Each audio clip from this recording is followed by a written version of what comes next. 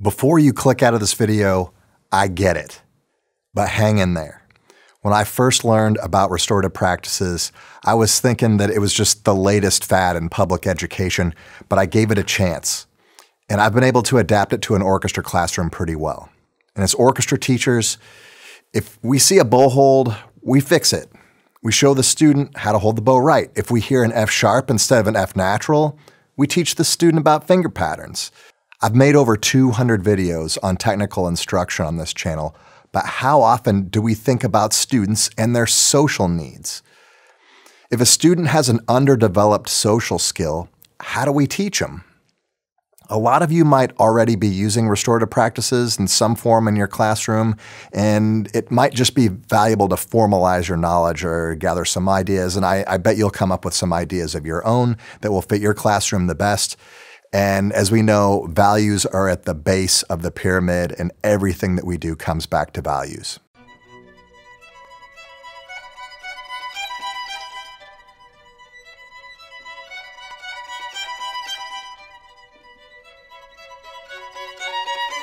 In my last video, I went over restorative practices from a 30,000 foot view the history, the general application, the big picture stuff. In this video, I'm going to show you what restorative practices might look like in an orchestra classroom. Do you have behavior problems? I don't have behavior problems in my classes. I'm an orchestra teacher. And even more than that, I'm a high school orchestra teacher. Okay, ever? You never have student behavior issues? You know, yeah, usually by the time they get to high school, they're here because they want to be and they're they're self-motivated and they want to get the most out of orchestra. But every once in a while, a student goes out of bounds and we have to deal with it.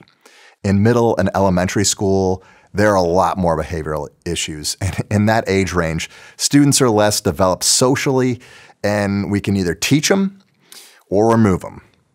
Now, in the traditional system, what do we do? A student misbehaves, they're disruptive, and we give them a referral and send them to the principal's office. Well, what happens? They come back with the fear of God in them and they become perfect little angels, right? Now, I can count the number of referrals that I've written on one hand in my 20 years of teaching. And I can tell you, they've had zero impact on student behavior. One of the advantages that I've had get, getting to go around and help other teachers in other school districts is I see a lot of different strategies for managing behavior. And hey, you have what works, you do you. But uh, I also see stuff that maybe could be tweaked to work a little bit better.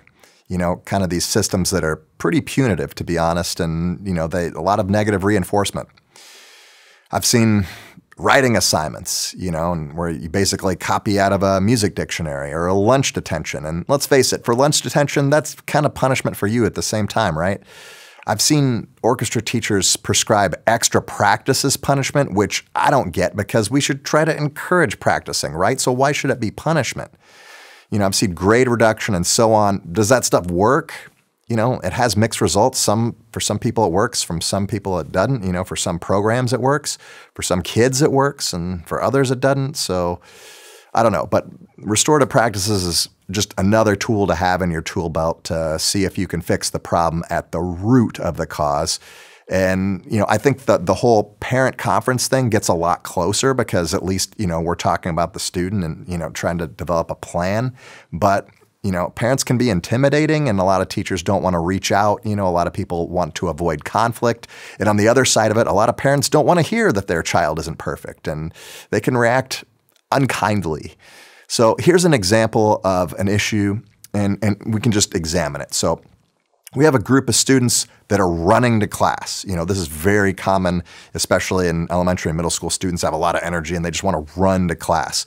So in, in one case, the teacher says no running and they get a lunch detention for running because that's the school policy and then they don't run anymore. Well, does it work?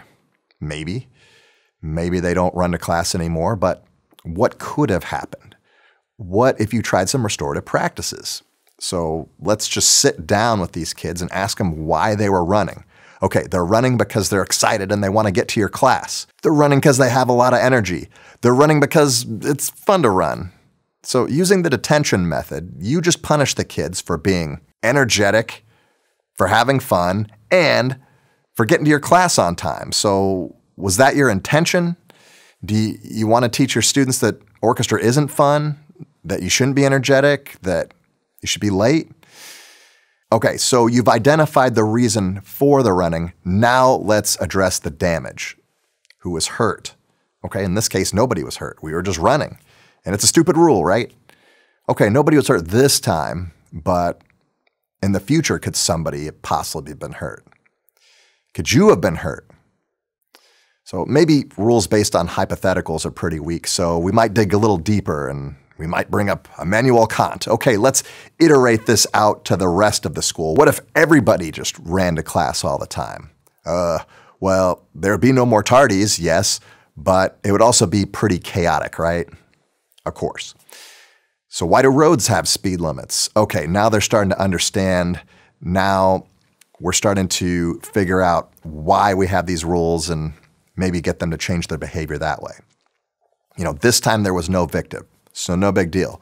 But if we recognize that one day we could hurt somebody, and there might be medical bills and there might be lasting physical damage and all that bad stuff. Well, now we understand the reason for the rule and we can modify behavior. Okay, but also let's look at the broader scope of this. What about the other students that saw you running and said, hey, that looks like fun, I'm gonna run too. And then more and more students are running. It's more chaos, more chances for injury, right?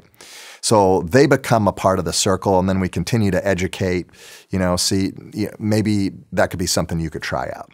Maybe if, if you use circles and you use restorative practices, you could make a classroom full of teachers that could be the solutions rather than the problems. And in my next video, I'm going to talk about how to use circles for students who aren't in trouble to get conversations going and transform your teaching environment. So I'll see you then.